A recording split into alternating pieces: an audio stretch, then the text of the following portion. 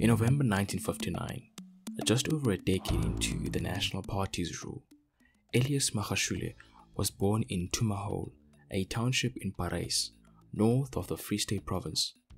He got his nickname Ace from his good soccer skills. Ace was born into a generation of activists determined to destroy the oppressive government that governed through racist laws. Raised by a single parent, Magashule was encouraged by his mother to do anything that made him happy. He gradually became aware of the ANC, and his consciousness was ignited when the Soweto uprising of 1976 spread to Tumahole. After matriculating in 1980, he enrolled for a Bachelor of Arts at Fort Hare University, and on 1 May 1982, he was arrested with 22 other students and charged with high treason in an attempt to assassinate the state president of Ciskei during the graduation ceremony. But this would not be the end of his encounter with law enforcement. In 1985, he spent nine months in solitary confinement. After he was released only two years later, in 1987, he enrolled for a law degree at Wits and later changed to a marketing course through the University of South Africa. It was during this time that he became known as someone who liked to show off cash and was good at tapping into sources of funding. Some struggle activists suspected him for stealing money that was meant for the liberation movement. The unbanning of the ANC came with optimism in the liberation movement, and in preparation for the first elective conference after the unbanning, the Free State province had some work to do in ironing out their differences.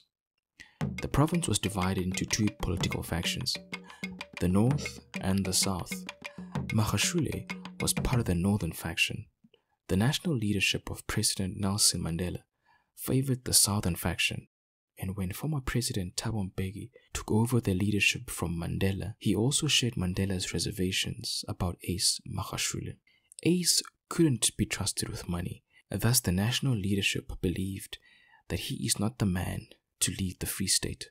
They feared that if elected as Premier, he will continue with his college habit of looting funds in the Free State.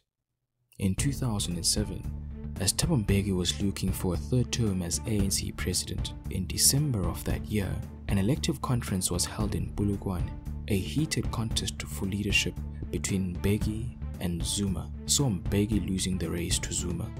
Fortunately for Ace, he supported Zuma, and with the victory, a space for political office opened for him. Magashule was appointed Free State Premier in May 2009, at the beginning of the Jacob Zuma era as the country's president.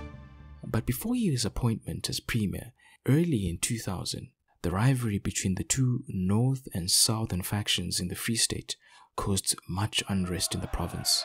It became so serious that the ANC national leadership had to intervene. And so they brought in an outsider to bring order to the chaotic province. Before his appointment by the Mbeki-led administration, Nobi returned to South Africa from his short stay in Sweden where he worked as a program officer. When Nobi arrived in his home province, the national government placed him in positions that marked him as an enemy of the Magashule faction. Nobi tried to reconcile the two warring groups. He quickly established himself as an official who respected rules and laws that governed public bodies. True to his ideals, he suspended department directors over financial irregularities. Nobi also introduced a financial restructuring plan. His plan did not sit well with the two factions. Both factions saw him as someone taking money away from them. Not long after the implementation of the financial plan, calls came from both the North and the South that Nobi had to go. For the first time, the two groups became united under this one common goal.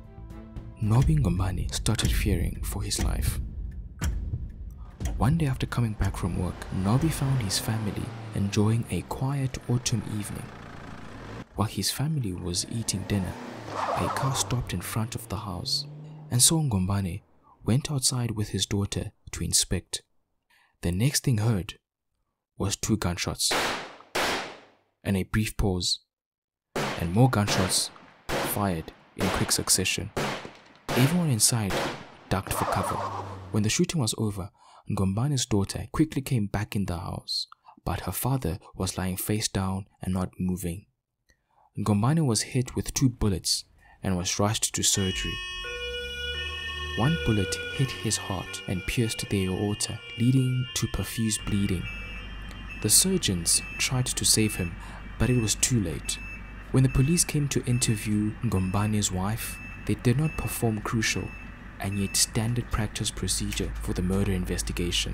So it turns out that the first thing police do in a crime scene where someone is shot is to get any potential suspect's hands for a gunpowder residue. This is never done. It would later turn out that a high level cover up was planned to protect the real culprit and to make Nobby's wife the scapegoat. The city press published a story that pointed Nogwanda as the main suspect. The newspaper reported that she made insurance inquiries 10 days before her husband was killed. It was obvious that the police provided the information to the newspaper, as this information deals with the investigation. An embarrassing attempt was made by the police to sue the grieving widow with her family. The then police commissioner, Jackie Selebi, told the public that they have triple checked all the facts and that the evidence led to Nogwanda and her family. Nogwanda was arrested and charged with Nobi Ngombane's death. It was during this time that the police started feeding the media with sensational information to show why Nogwanda wanted her husband dead. In a desperate attempt to find evidence to implicate Ngombane's widow, the police exhumed Ngombane's body after receiving information that Nogwanda hid the gun that killed her husband in the coffin. A search of the coffin and a body x ray revealed no firearm. However, the state went on to charge her with the murder despite the poor evidence, only to shamefully withdraw the charges two years later. To this day, no one has been charged with this top level political hit. When Ace became Free State Premier in May 2009, he announced that his administration would build bigger and better houses. These houses would be 50 square meters in size, an improvement to the existing 40 square meters. And in order to achieve the goal of building bigger houses, the Premier wanted new contractors to be employed. This was a smart move to remove old contractors with new businessmen that were connected to Magashule, and this would see him benefiting from this project. 361 companies were tasked with building the houses.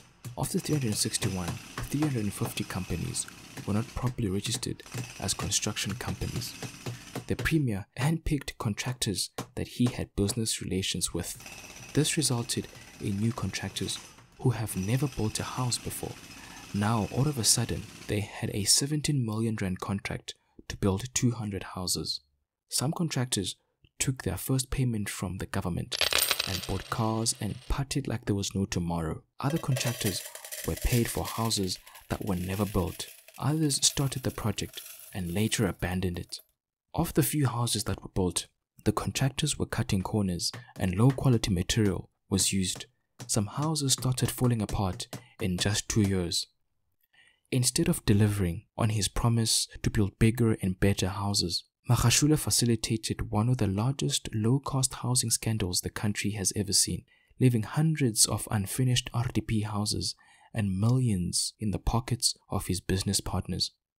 A sad legacy for a politician who labeled himself as a champion of the poor.